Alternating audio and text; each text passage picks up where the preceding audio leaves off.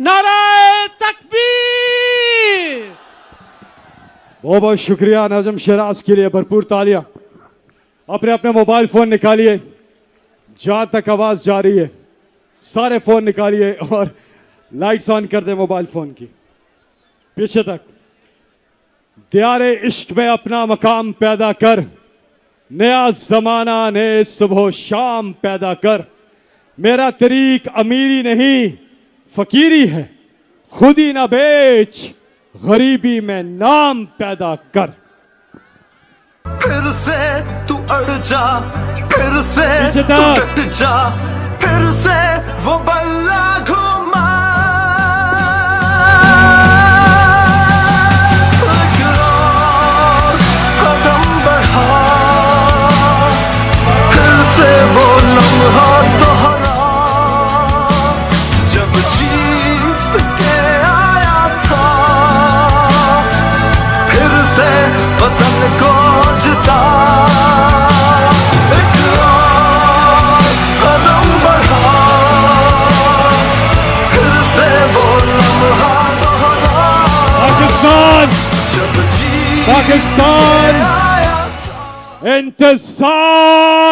घड़ियाँ आप खत्म!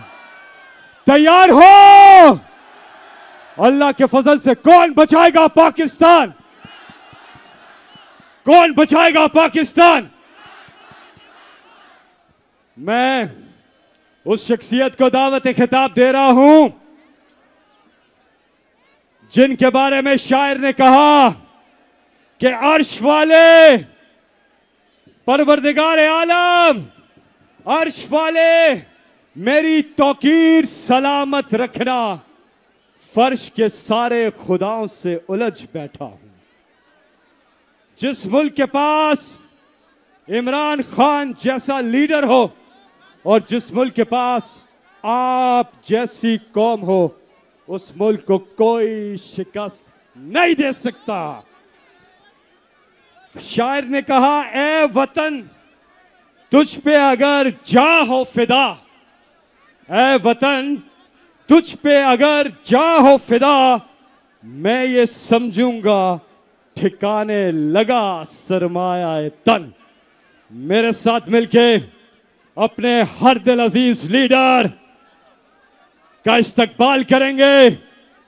पाकिस्तान की आन है आप। पाकिस्तान की शान है आप। मर्द बोरान है आप।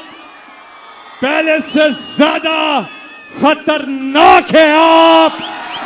पाकिस्तान की जान है आप। पूरी दुनिया में पाकिस्तान की पहचान है आप। पाकिस्तान के कप्तान हैं आप। पाकिस्तान के खान हैं आप। इमरान खान है मेरे महबूब वतन तुझ पे अगर ना हो बिस्मिल्लाहिर्रहमानिर्रहीम। या कनाबदो वैया कनस्ताइन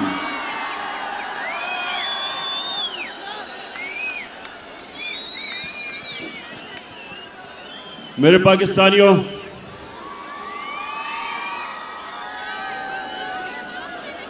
पहले तो मैं आप सबसे माजरत चाहता हूँ कि आपको इतनी देर इंतज़ार करवानी पड़ी। उसकी वजह थी कि मुझे रास्ते से, सड़कों से, काफलों के पैगाम आ रहे थे कि अभी हम सड़कों पे फंसे हुए हैं तो अपनी तकरीर जल्दी ना करना। तो मैं आपसे इसलिए माजरत चाहता हूँ कि अभी भी कई लोग सड़कों के ऊपर फंसे हुए हैं और दूर से आए हैं कई तो उसके लिए मैं माजरत चाहता हूँ कि हमें आपको इंतज़ार करवानी पड़ी। अच्छा आप मेरे पाकिस्तानियों, मैं जब लाहौर से निकल रहा था तो मुझे दो चीज़ें सबने कही। कि जी आपकी इस वक्त टांग की वो हालत नहीं है कि आप ट्रैवल कर सकें। और मुश्किल है। गाड़ी में घुसना, चढ़ना मुश्किल है इस वक्त। और इंशाल्लाह तीन महीने और लगेंगे जब तक ये ठीक नहीं होती। लेकिन दूसरी चीज़ भी कहते हैं और उससे भी ज़्यादा लोग कि आपकी जान को खतरा है। और वो लोग वो तीन लोग, वो तीन मुजरिम जिन्होंने मुझे ये पूरी साजिश करके कत्ल करने की कोशिश की, वो अभी भी बड़े बड़े ओहदों पे बैठे हुए हैं। तो मुझे कहा गया कि वो फिर से वारदात करेंगे। तो आपको घर से नहीं निकलना चाहिए। पहली चीज़ कि इसमें कोई शक नहीं कि इस टांग के साथ सफ़र करना बड़ा मुश्किल था। लेकिन मैं इस दूसरी चीज़ पे, खास तौर पे आज अपने नौजवानों को यह बताना चाहता हूँ। देखें, मैंने मौत अब बड़े करीब से देखी। जब मेरी टांग पे गोलियाँ लगी और मैं गिर रहा था तो जैसे ही गिर रहा था, मेरे इधर से गोलियाँ निकली ऊपर, सर के ऊपर से। अगर गिरता ना तो वो लग जाती। लेकिन मैं जो अपनी कौम को, अपने नौजवानों को आज पैगाम देना चाहता हूँ, देखें, अपने ईमान को मज़बूत करें। ला इलाहा इल्लल्लाह का मतलब समझें। कोई नहीं है खुदा अल्लाह के सिवा। और जब आप दावा करते हैं कि मैं अल्लाह तेरे अलावा किसी के सामने नहीं झुकूँगा तो आप जो अल्लाह ने आपको मेरे नबी सल्लल्लाहु अलैहि वसल्लम के ज़रिए अपना पैगाम भेजा कुरान में तो उसमें वाजे उसने लिखा हुआ है कि जब तक अल्लाह की मर्ज़ी नहीं होगी तुम इस ज़मीन से नहीं जाओगे। और जब उसका फैसला हो गया तो जितना मर्ज़ी एहतियात करो, डरो, छुपो, भागो, मौत से नहीं बच सकता इंसान। तो जब मैं गिरा तो उसी वक्त उसी वक्त मुझे पता था कि अल्लाह ने मुझे बचाया। उस वक्त मुझे पता था कि अल्लाह का यह फैसला था कि मैंने नहीं अभी जाना। उसी वक्त अल्लाह का शुक्र किया मैंने। और ये अल्लाह का शान देखें कि 12 लोगों को गोलियाँ लगी। कंटेनर के ऊपर 12 लोगों को गोलियाँ लगी। ये फैसल को फैसल को भी मैं बल्कि इसको देख रहा था, इसके मुँह से खून गिर रहा था, गाल से। अहमद चट्ठा जो मेरे साथ था, वो मेरे साथ गिरा हुआ था। ऊपर और लोगों को गोलियाँ लगी। लेकिन अल्लाह की शान देखो कि बारह में से एक भी, एक एक भी अल्लाह को प्यारा नहीं हुआ। सब बच गए। एक गार्ड को छह गोलियाँ लगी। सब गोलियाँ ऐसी थी कि वो बच गया। हमारा, मेरा जो गार्ड जाहिद था, हमारा इमरान इस्माइल, जो सिंध के गवर्नर थे, चार गोलियाँ उसके कपड़ों में से निकली, बच गया। तो मैं आज सारी कौम को, मैं सिर्फ़ आपको एक बताना चाहता हूँ कि अगर आपने ज़िंदगी सही माने में ज़िंदगी गुजारनी है तो ये जो मौत का खौफ है, इससे अपने आप को आज़ाद करें। ये जो खौफ खौफ जो इंसान के ऊपर तारी होता है, बड़े इंसान को एक छोटा सा इंसान बना देता है। खौफ एक कौम को गुलाम बना देती है। ये जो मरने का डर है,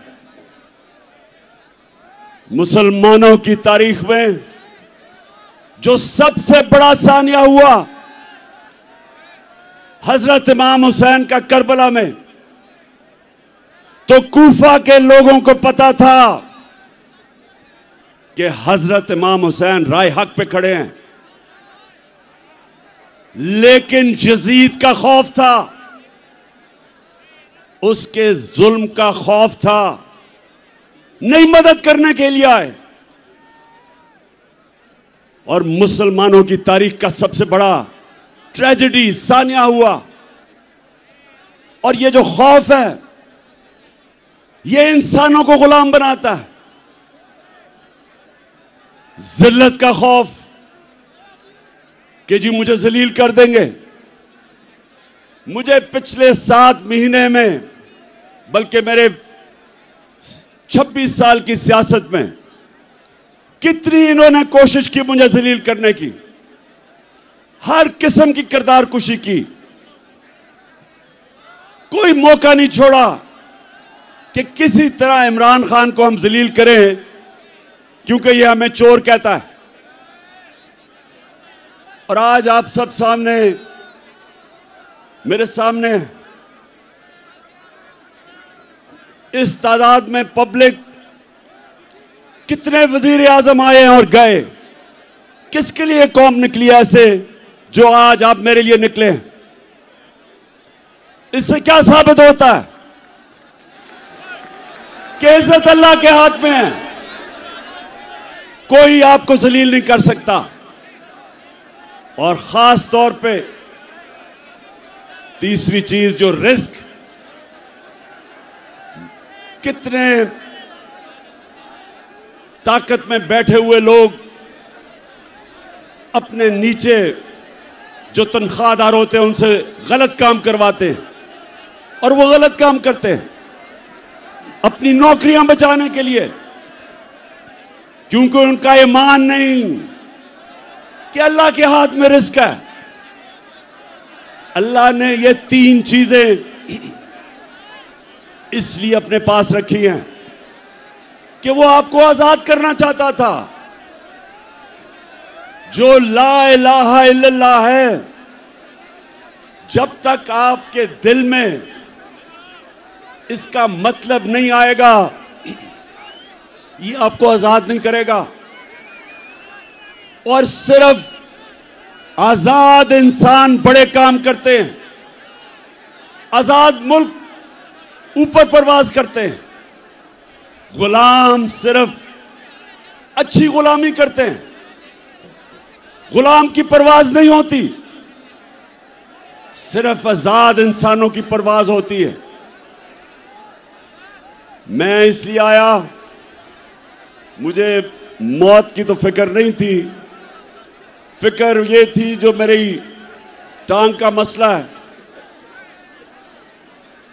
इसने मुझे मुश्किलें डाली, चढ़ने में, उतरने में। लेकिन मैं आया इसलिए कि मेरे पाकिस्तानियों, आप आज एक डिफाइनिंग मोमेंट पे खड़े हो। आज आप क्रॉस रोड पे खड़े हो। फैसला कौन वक्त पे खड़े हो? आज आपके सामने दो रास्ते हैं। आज मेरी कौम आपके सामने दो रास्ते हैं। जब नमाज़ में अल्लाह से हम कहते हैं कि अल्लाह, एक ही चीज़ मांगते हैं अल्लाह से, पाँच वक्त की नमाज़ में, कि अल्लाह उनके रास्ते पे लगा। जिनको तूने नेमते बख्शी, उनके रास्ते पे ना लगा जो तबाही के रास्ते पे निकल गए। पाकिस्तानियों, आप भी उधर खड़े हैं। एक तरफ़ नेमतों का रास्ता है, आपकी अजमत का रास्ता है। दूसरी तरफ़ आपकी तबाही का रास्ता है, गुलामी का रास्ता है, जिल्लत का रास्ता है। मौलाना रूमी उसने बड़ी एक एक ऐसी बात की जो मुझे कभी नहीं भूली। उसने कहा कि जब अल्लाह ने तुम्हें पर दिए उड़ने के लिए, क्यों चूंटियों की तरह ज़मीन पर रींग रहे हो? पाकिस्तानियों, अल्लाह ने हमें पर दिए। हमारा मुस्तकबिल यह नहीं है कि हम चूंटियों की तरह रींगे। जो ऊपर आए, फैसला करे कि जी आज तो ये चोर हैं। उनके ऊपर एक्शन ले गवर्नमेंट करा दे। अगले दिन फिर बंद कमरों में फैसला हो कि नहीं जी, मैं अब एनआरओ दे दिया इनको। ये मैं गंगा में नहा के पाक हो गए हैं। और फिर उनको निकाले कि जी चोर हैं। और फिर उनको एनआरओ दे दे। और कौम अगर इस चीज़ को, अगर हम अगर हम इन चीज़ों को, इस जुल्म को, इस नाइंसाफी को, अगर कौम तस्लीम करती है तो वो कौम के अंदर और भेड़ बकरियों में, गाय भैंसों में कोई फ़र्क नहीं है। इंसान इंसान इंसाफ माँगता है। इंसानी माशरे में और जानवरों के माशरे में फ़र्क ही एक है। इंसानों के माशरे में इंसाफ होता है। जानवरों के माशरे में ताकतवर की हुक्मरानी होती है। पाकिस्तान अगर एक अजीम मुल्क नहीं बना तो उसकी एक वजह है। कि हमारे मुल्क में कभी भी कानून की हुक्मरानी नहीं आई। ताकत की हुक्मरानी जंगल का कानून रहा है। और ये याद रखें, कभी कोई माशरा तरक्की नहीं कर सकता। जिस माशरे के अंदर इंसाफ नहीं होता, मेरे नबी सल्लल्लाहु अलैहि वसल्लम ने मदीना की रियासत में। और याद रखें, अल्लाह का हुक्म है कि मेरे हबीब के सुन्नत पे, उसकी शरीयत पे, उसके रास्ते पे चलो। क्यों अल्लाह ने हमें हुक्म दिया है? हमारी बेहतरी के लिए। जब इलामा इकबाल, जब उसने पाकिस्तान का तस्वर किया तो इलामा इकबाल ने सोचा था कि हम एक माशरा खड़ा करेंगे। मदीना के रियासत के असूलों के ऊपर। और अलामा इकबाल ने बताया कि जब भी मुसलमान माशरा खड़ा होता है, वो वापस उन असूलों पर जाता है। और जब तबाह होता है तो उन असूलों से पीछे हट जाता है। तो पाकिस्तानियों, जब उन्होंने मदीना की रियासत बनाई तो पहली चीज़, अदल और इंसाफ, कानून की हुक्मरानी, उसके ऊपर उस माशरे की बुनियाद रखी। मेरी बेटी भी अगर जुर्म करेगी तो सजा मिलेगी, उन्होंने फरमाया, कोई कानून से ऊपर नहीं। और फिर बताया कि तुम्हारे से पहले बड़ी कौमें तबाह हुई, जो ताकतवर जब चोरी करता था, जुर्म करता था, उसको माशरा नहीं पकड़ता था, सिर्फ़ कमज़ोर को पकड़ता था।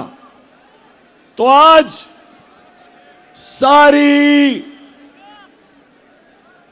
सारी दुनिया में आप चले जाएँ। सारे गरीब मुल्क देख लें। मुझे मौका मिला दुनिया में गरीब तरीन मुल्क देखने का और अमीर तरीन। फ़र्क एक है, गरीब मुल्कों के अंदर इंसाफ नहीं। वहाँ भी इस तरह के बड़े बड़े डाकू, जरदारी और शरीफ की तरह पैसा चोरी करके बाहर लेके जाते हैं और उनको निज़ाम नहीं पकड़ सकता। वहाँ भी सिर्फ़ छोटा चोर जेल में जाता है। सारे गरीब मुल्कों में देख लें। और सारे खुशहाल मुल्कों में चले जाएँ। यूरोप जाएँ, स्विट्जरलैंड जाएँ, स्कैंडिनेविया जाएँ, बर्तानिया जाएँ। पूछें, जो बैरून मुल्क, पाकिस्तानी उन मुल्कों में रहते हैं, उनसे पूछें, क्यों वो आज तहरीक इंसाफ के साथ खड़े हैं? क्यों बैरून मुल्क पाकिस्तानी आज हमारे साथ खड़े हैं? क्यों उनको उनको समझ है मैं क्या कह रहा हूँ? क्योंकि उन मुल्कों के अंदर इंसाफ है। यहाँ से जाके वह पैसा बनाते हैं। वहाँ खुशहाली आती है। अपने बच्चों को अच्छे स्कूलों में पढ़ाते हैं। क्यों? क्योंकि उनके मुल्क में इंसाफ है। मेहनत का फल मिलता है। उनके हुकूक की हिफाजत तहफ़ है। उनकी अदालतें इंसानों के अंदर इंसाफ करती हैं। इसलिए वहाँ खुशहाली है। और गरीब मुल्कों के अंदर हर गरीब मुल्क अब चले जाएँ। उनके बड़े बड़े वज़ीर वज़ीर आज़म उनके सदर मुल्क से पैसा चोरी करके बाहर ले जाते हैं।